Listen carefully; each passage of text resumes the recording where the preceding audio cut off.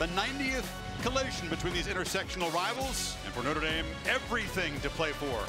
The Trojans say they're more than spoilers tonight in the Coliseum. Senior night, the most inspirational, courageous member of this class is Jake Olson.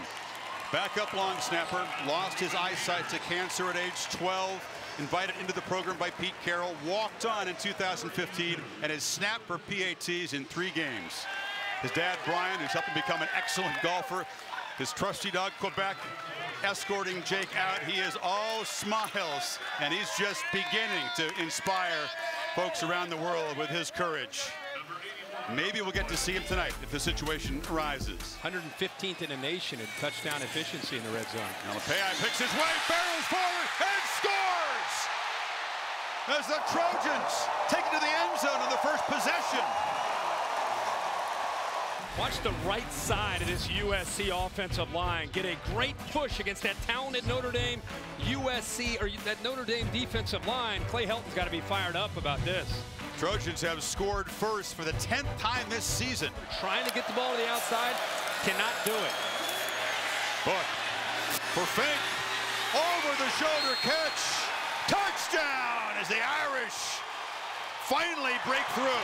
What a pitch and catch just showed you how that's the matchup. That's who they've got to be able to go after against Lockett, a senior. Definitely gets the right foot down. They're going to take a peek at it again, I'm sure. He's in bounds, but is he in the end zone? Right. Right there, the ball does break the plane. All these big, tall, physical wide receivers on Notre Dame, they have not hurt the Trojans. It's been the X walk-on from the slot making all the plays. Tighter coverage now. Daniels takes a shot downfield, looks for Pittman, who makes a catch in Notre Dame territory. Got to go up and make a play. We've got talented wide receivers. Michael Pittman is a junior at 6'4 with the ball up high in the air, intentionally by Daniels. Gives his receiver a chance. He goes up and makes a big play. Tremendous ambassador for this program. Now, Williams finally has some room. Dexter Williams in the clear. And in the end zone as Notre Dame the lead. Bottled up, controlled all night, Kirk, but a 52-yard explosion for the running back.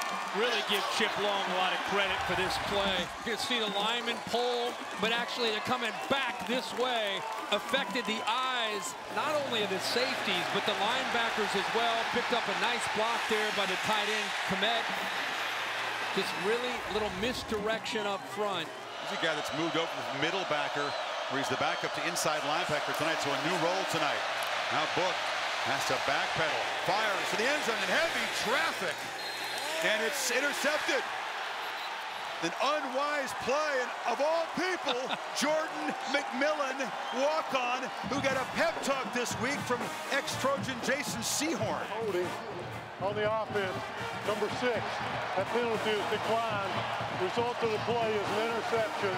First down. First timeout. First of all, Chris, a rare, poor decision here by Ian Book to throw that into so much traffic. The progressive pylon cam shows you three different USC defenders in the area and give McMillan a lot of credit for that interception.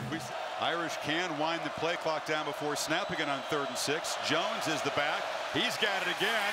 And Jones a lot of room. Tony Jones makes a cut, gets a block, and scores!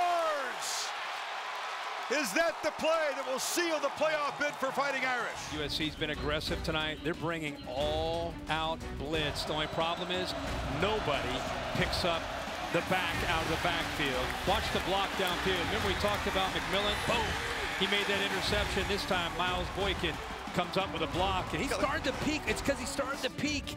He's very fortunate. His left thigh actually helps him secure that ball. Remember, that was a third and six. On third down, they bring pressure. Daniels picks it up, throws in the end zone. Touchdown, Tyler Vaughns. Trojans within eight. You talk about high pointing the ball.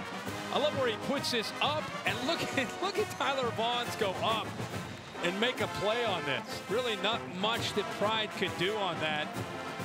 The progressive pylon cam showing he gets up. Oh, there, there shows that elevation. I mean, he's up 35, 38 inches. Gets the big hop, and it's Boykin who goes up and collects it at the 46, and the Irish can just bleed the clock out. How about Miles Boykin, He's, who's been so instrumental this year for Notre Dame? Comes There's up. no one you'd rather have maybe in the sport no. at that ball, no, right? No, Big hands? Big, strong hands. Really never in doubt there. Hard to imagine a 12-0 Notre Dame team getting jumped by a couple of one-loss teams. No. Nothing weirder has happened in the playoff era yet. Not saying no, it's impossible, I, but I am. unlikely. I, I'll say it for you. It's impossible? It's impossible. They're 12 and 0. Go recruit. Go sit back.